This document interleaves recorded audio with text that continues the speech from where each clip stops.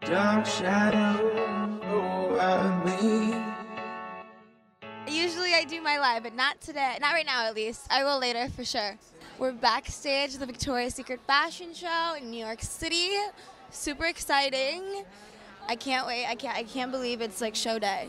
It's kind of crazy. Went by so fast. This is my third year. Number three, three times the charm. I'm definitely more comfortable right now, like in this moment. Um, but I think that this year is very kind of important for me. I graduated up from pink to mainline, so that's really exciting. And I have two amazing looks, and I'm in the opening segment, so that's really fun. Um, and I just have like, I feel like a little bit more responsibility. I've been shooting with them a lot lately, so it's really cool. And um, I'm really excited to just further progress in my career, and especially with Victoria's Secret. They're an amazing family.